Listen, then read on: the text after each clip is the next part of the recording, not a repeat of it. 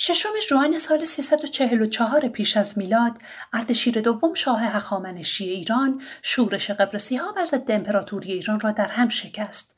قبرس از زمان داریوش بزرگ تا نبرد ایسوس و سلطه اسکندر مقدونی بر شرق مدیترانه نزدیک به دو صده از سرزمین های امپراتوری ایران و پایگاه ناوگان این امپراتوری در مدیترانه بود.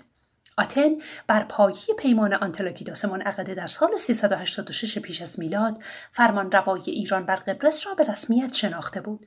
بر پایه این پیمان که عنوان صلح جهانی بر آن گذارده بودند جهان یونانی زبان ایرانی را به عنوان قدرت اول گیتی به رسمیت شناخته و متعهد شده بود که در هیچ منطقه ای اقدامی بر ضد منافع ایران انجام ندهد.